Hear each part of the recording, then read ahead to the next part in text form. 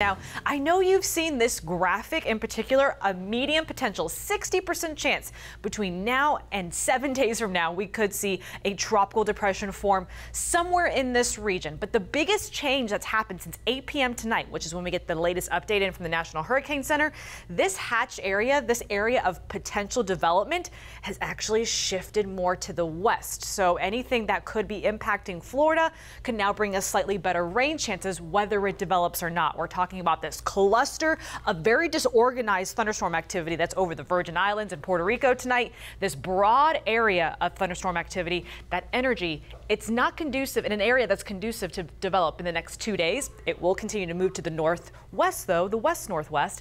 And as it does so, that is where development could be a little more likely, especially as we get it away from some of that Saharan dust out there. So I want to show you the European model.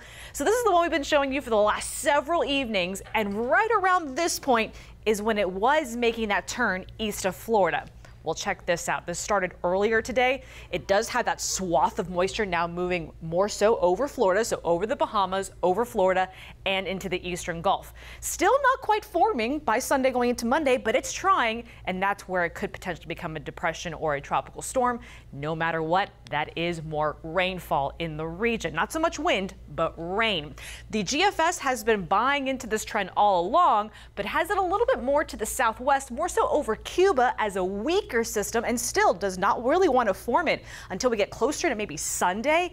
And that still has it in the eastern Gulf of Mexico, bringing more rain into our neck of the woods. So this is what we've been kind of waiting for, a little bit more alignment with the models, but there's still so much uncertainty because this is not actually formed yet. We do not have a closed low to grab onto and put some more accurate model runs into. So stay tuned.